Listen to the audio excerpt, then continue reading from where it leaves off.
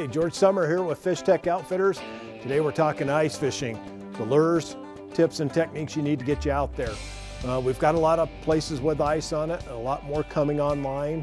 It's the opportunity to get you, the angler, out there where you normally couldn't go unless you had a boat. And it's a nice, great social event.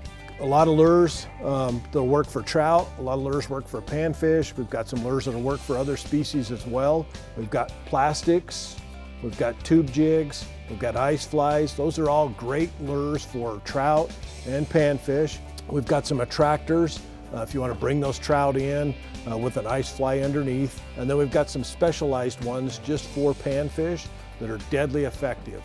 Now for those of you that are fishing the burbot Bash, you want some glow-in-the-dark baits um, like these uh, grubs or these tubes, and you're gonna wanna tip them with some sucker meat. And right now the fishing's good, uh, the fish are shallow, it's time to get out there and go. Go into the burbot Bash.